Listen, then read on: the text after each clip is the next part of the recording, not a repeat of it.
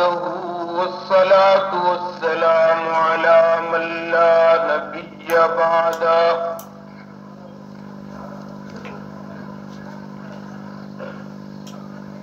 وعلى آله وأصحابه الذين أوفوا عهده. وهم مفاتيح الرحمة ومصابيح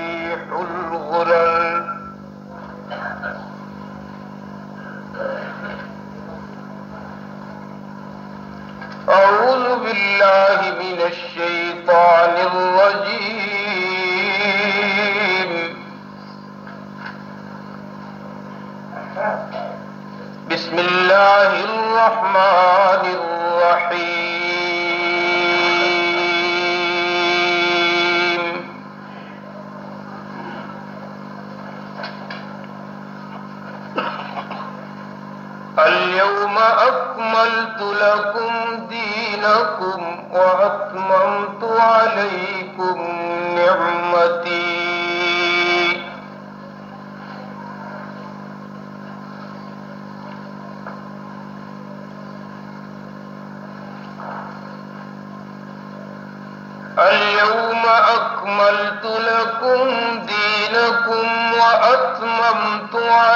عليكم نعمتي ورضيت لكم الإسلام دينا.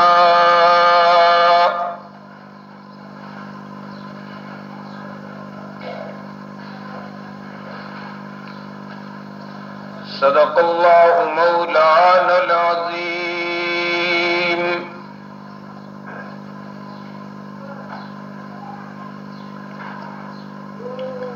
عن أبي هريرة وعن معاوية بن أبي سفيان. رضي الله تعالى عنهم قالا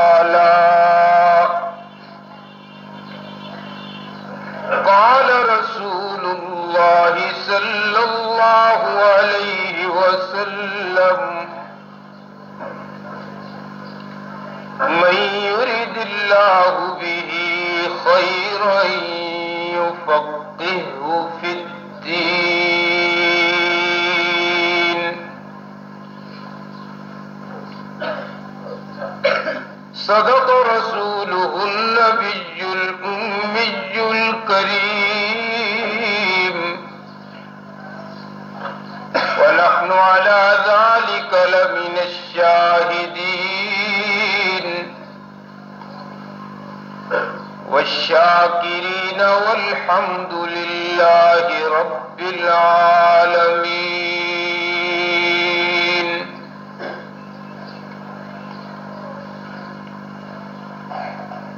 خدا در انتظار حمد مانیست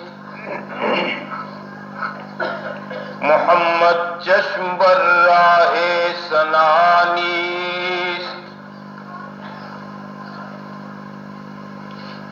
محمد حامد حمد خدا بس۔ خدا مدافرین مصطفیٰ بس۔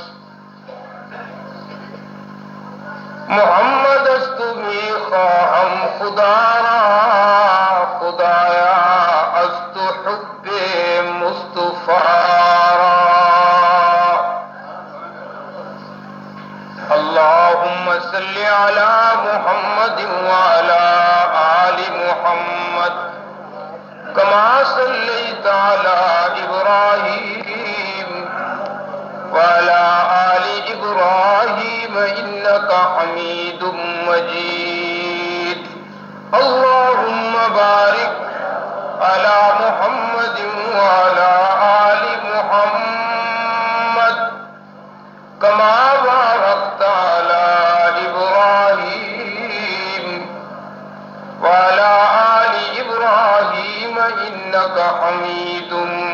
Господи.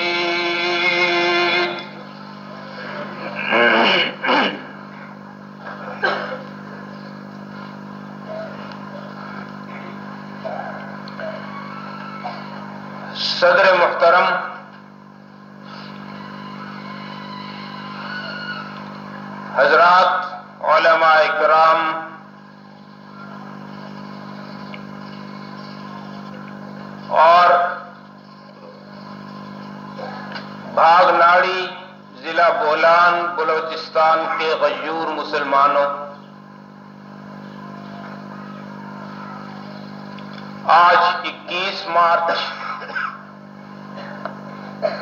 سن دو ہزار۔ ہم یہاں بھاگ مدینت العلوم کی اس نو تعمیر کردہ مسجد میں عظمت قرآن کانفرنس کی پہلی نشست میں دعوت و تبلیغ کی نسبت سے جمع ہیں۔ تعالی ہمارا کہنا اور سننا قبول فرمائے اور ہمیں اس پر عمل کی توفیق بخشے۔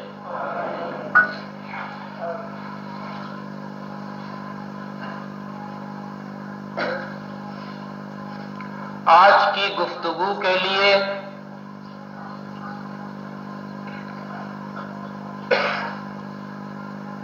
قرآن کا جو حصہ جس کی تلاوت و سماعت کی ابھی ابھی ہم نے سعادت حاصل کی، پیش نظر ہے۔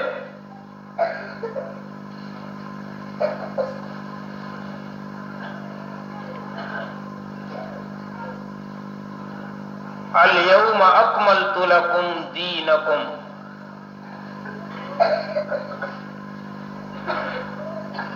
واتممت علیکم نعمتی ورضیت لکم الاسلام دینا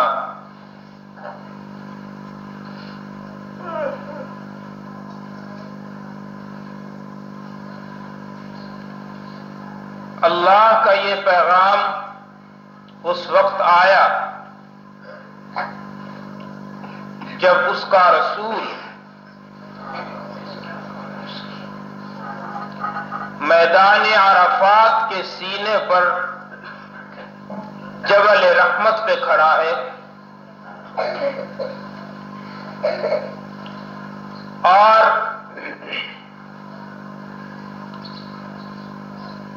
اس کے اردا گرد ایک لاکھ سے زیادہ آسمان ہدایت کے نجوم کا ہجوم ہے۔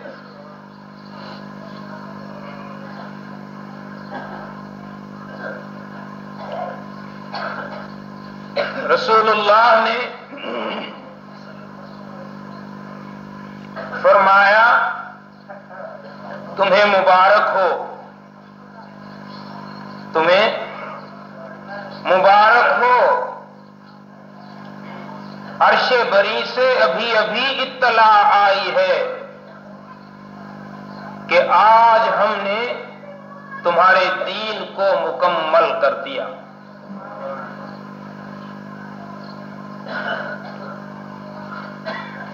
وَأَتْمَمْتُ عَلَيْكُمْ نِعْمَتِي۔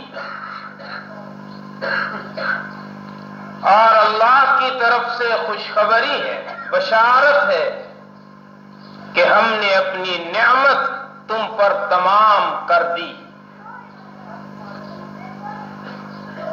ورضیت لکم الاسلام دینا اور تمہارے لیے دین اسلام کو بطور طرز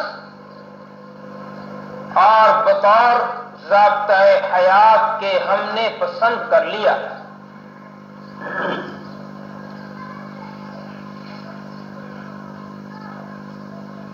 بھاگ والوں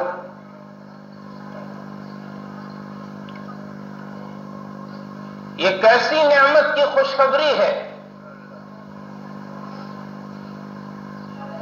یہ کیسی نعمت کی بشارت ہے کہ جس نعمت کی بشارت اور خوشخبری دینے پر خود دینے والا بھی خوش ہو رہا ہے؟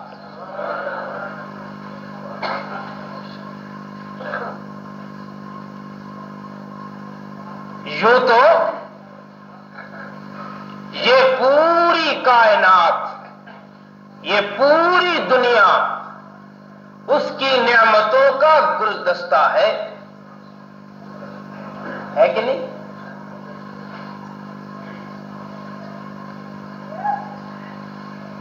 لیکن وہ کون سی نعمت ہے جس پر خود منعم کو بھی ناز ہے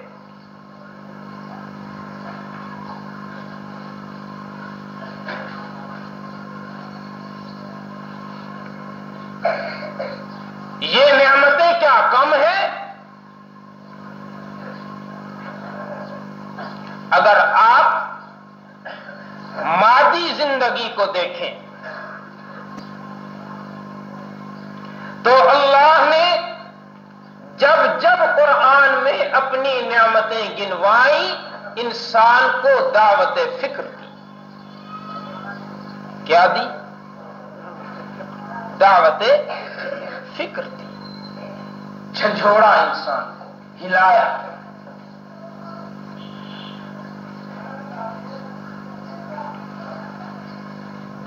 فرمایا علم ترو کیف خلق اللہ سبع سماوات طباقا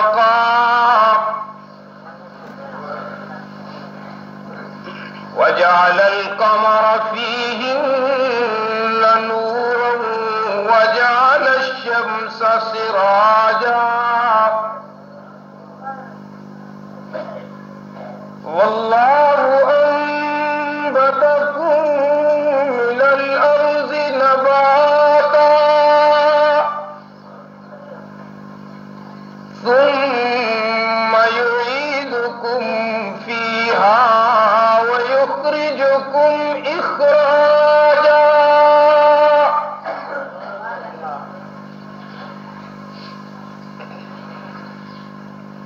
سب دعوتیں فکر ہے الم ترو۔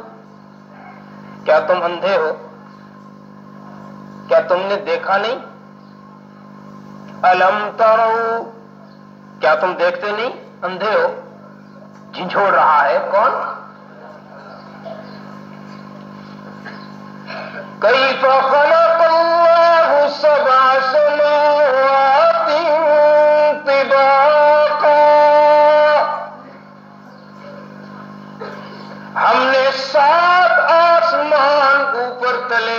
تلے کیسے سجائے۔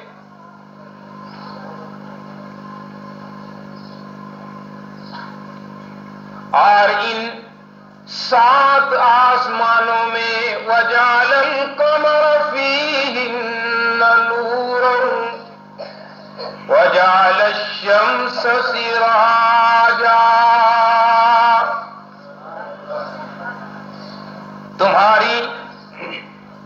تمہاری محفل کائنات کو روشنی دینے کے لیے ہم نے اس میں چاند، سورج اور ستاروں کی محفل سجا دی۔ سورج دن کو تمہاری نوکری کرتا ہے، چاند رات کو تمہاری چاکری کرتا ہے۔ اور ستارے چاند اور سورج کے مزدور ہیں۔ تمہاری پوری کائنات کا مصنوعی انتظام گڑبڑ ہو سکتا ہے، لیکن ہمارے سورج اور چاند کے اوقات میں ایک لمحے کا بھی فرق نہیں آ سکتا۔ اور وہ جو ہمیں بھی نہیں مانتے، وہ بھی اپنی گھڑیاں میرے چاند اور سورج کے اوقات کو دیکھ کر درست کرتے ہیں۔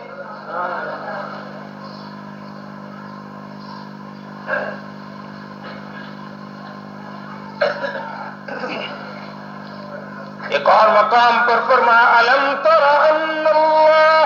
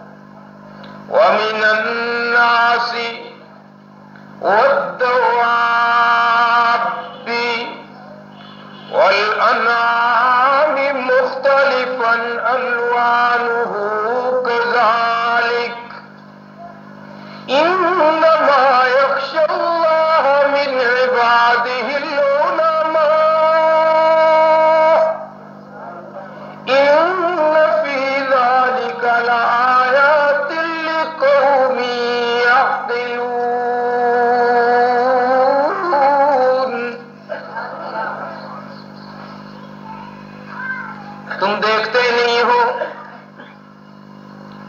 کہ ہم نے آسمان سے پانی برسایا۔ کون برساتا ہے؟ کون برساتا ہے؟ تمہیں یقین ہے اگر آج ہم مل کر اللہ سے بارش مانگ لیں تو وہ دے سکتا ہے؟ لیکن یقین کے ساتھ۔ ہماری مانگ بھی تو ادھوری ہوتی ہے نا۔ اس میں رونا ہوتا ہے، اس میں نقصان کی فکر ہوتی ہے، لیکن اس میں یقین کی قوت نہیں ہوتی۔ وہ کسی اہل نظر نے کہا، حضرت، کہ تحلیل کر کے جسم کو ایسی دعائیں مانگ۔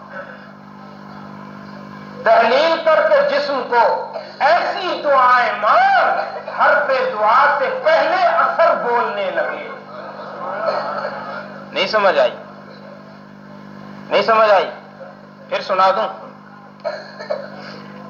تحلیل کر کے جسم کو ایسی دعائیں مانگ ہر پہ دعا سے پہلے اثر بولنے لگے۔ ابھی تو نے دعا کے ہاتھ اٹھا کر رب سے یہ نہ کہا ہو زبان سے کہ بارش دے، تیرے ہاتھ اٹھانے پر تیری زبان ہلنے سے پہلے وہ بارش دے دے، اسے یقین کہتے ہیں۔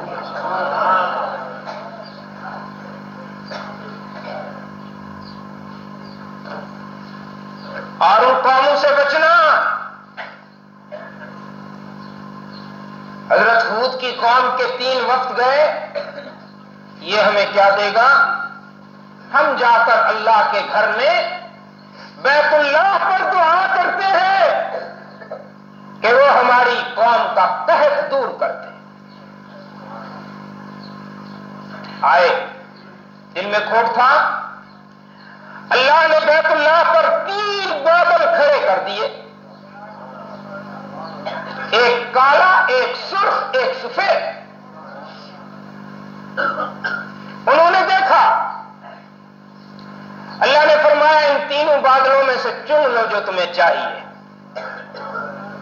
تو انہوں نے سوچا، سفید بادل میں بھی پانی نہیں ہوتا، لال میں بھی نہیں ہوتا، کالے بادل میں پانی ہوتا ہے۔ تو کہنے لگے ہاضا عارض ممترنا یہ وہ بادل ہے جو ہم پر پانی برسائے گا۔ اللہ نے کہا، تم چلو، ہم اس بادل کو بھیج رہے ہیں۔ فرشتے سے کہا اس بادل میں سے پانی کی بجائے ہوا کو برساؤ۔ ہوا کے فرشتے نے پوچھا، بیل کے ناک کے نتنے جتنے سوراخ سے ہوا نکالوں؟ فرمایا، اگر بیل کے نتنے جتنی تو نے سوراخ نکالی تو پوری کائنات تباہ ہو جائے گی۔ سوئی کی ناک جتنے سوراخ سے ہوا نکال اس بادل سے وہ ہوا نکلی اور بھوت کی قوم کو اٹھا اٹھا کے پٹک کے مار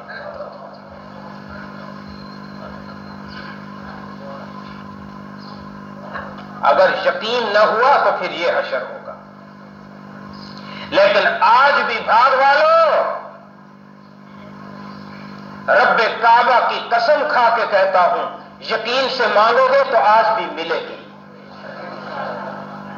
اس لیے کہ تمہارا مربی وہی ہے، جس کے ہاتھ اٹھے ہوئے ہیں۔ الہی الہی، میں مدینہ والوں کا سفارشی ہوں۔ ابھی کہا کچھ نہیں۔ اللہ نے کہا، جبرائیل جی رب جلیل، مجھے معلوم ہے میرا محبوب مدینہ والوں کے لیے کیا مانگنا چاہتا ہے۔ جلدی کرو بادلوں کو حکم دو۔ مدینہ کے ابر پہ چھا جائیں۔ ابھی میری ابھی میرے محبوب کے ہاتھ اس کے داڑھی تک نہ جائیں۔ بارش پہلے مسجد نبوی کی کھجوروں کی چھڑی سے بنی ہوئی چھت کے ٹپک کر اس کے چہرے پہ پہنچ جائے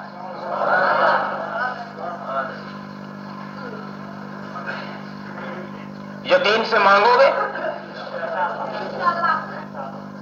بت توڑنے پڑیں گے۔ دکان کا بت سیاست کا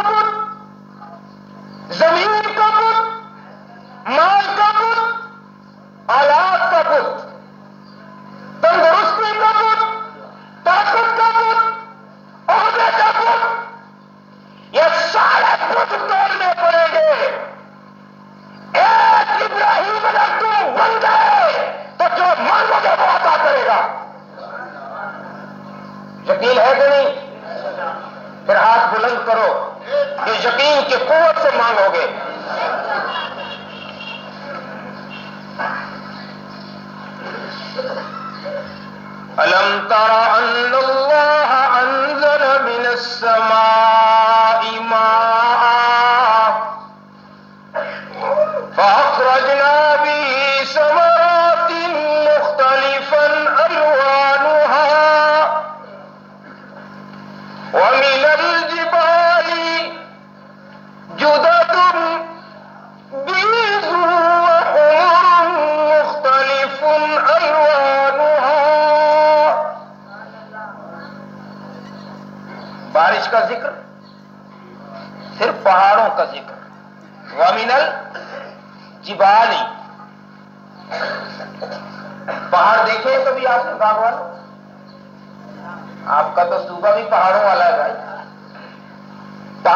کچھ سیکھا آپ نے؟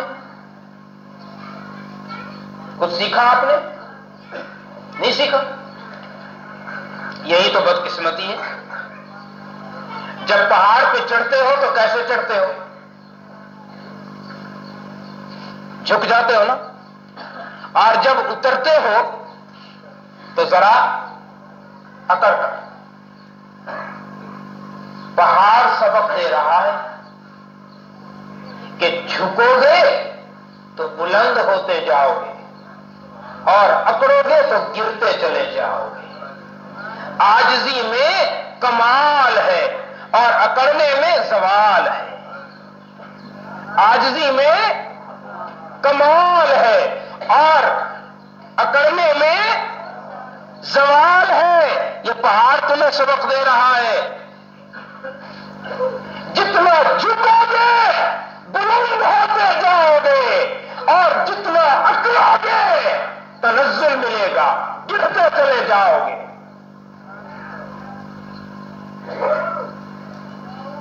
آجزی انکساری۔ قیام کیا ہے؟ آجزی رکوع کیا ہے؟ آجزی سجدہ کیا ہے؟ آجزی پہاڑوں نے پیغام دیا۔